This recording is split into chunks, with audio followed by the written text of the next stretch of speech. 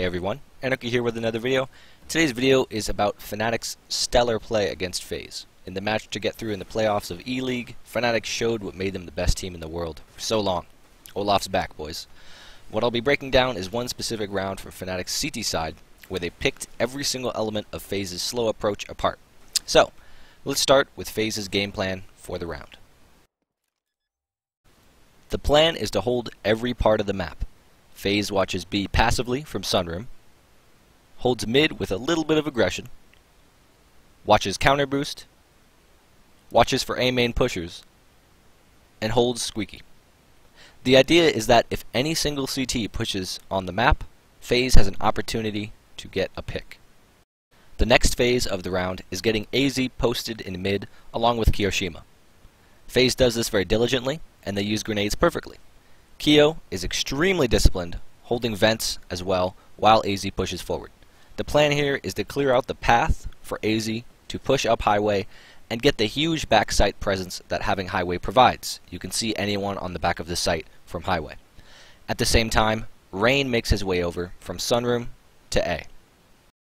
The end goal for FaZe is to split the site, and although the strategy looks strange, it is a creative way to change pace on the CTs. FaZe has all of their players pushing from A main go towards Toxic Barrel, allowing them to clear out E-Box and Forklift while having cover from Quad instead of fighting Quad directly. It also allows aizy to catch out anyone shifting on the back of the site from Highway.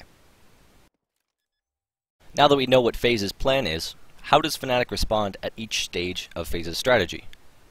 During the early parts of the round, Fnatic stays patient and saves a couple of grenades.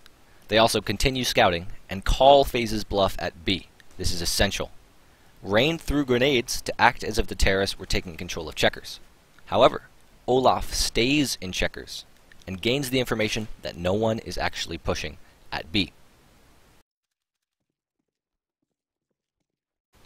When FaZe attacks middle, Fnatic responds by rotating Olof towards mid, as they just realized the grenades thrown at B from FaZe were most likely a diversion.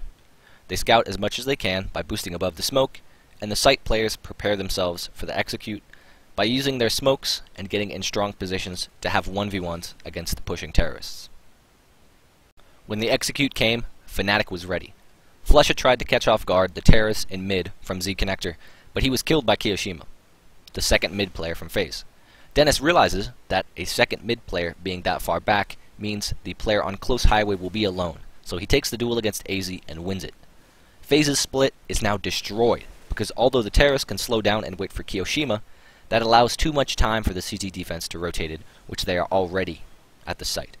The gaps have closed, and even with a heroic effort by Kioshima, Fox is put into a 1v2.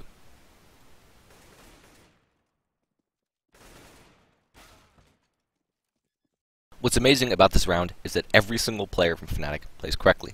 They also react properly to what FaZe is doing as a team.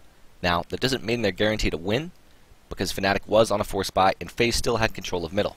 But Fnatic didn't overextend anywhere. They kept the terrorists in the dark by not pushing. The big lesson to learn is that slow terrorist play can be countered. When the terrorists hold, you don't push, save your grenades for the execute, and gather information about where the terrorists are.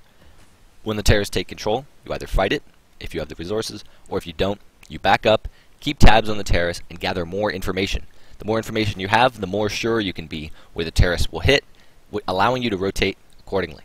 Lastly, when the terrorists finally attack one of the sites, use those grenades that you saved, get in strong positions, attack the isolated players, and catch them off guard. When they're executing as a unit, you need to catch them off guard, which Fnatic did exceptionally well by attacking the middle players. Also, while there's so little time left during the execute, you pressure the terrorists by holding the site and not leaving your spots. That wraps up today's video. Thank you all for watching. If you enjoyed the video, please leave a like, and if you want to see more, please subscribe. I'll see you in the next one.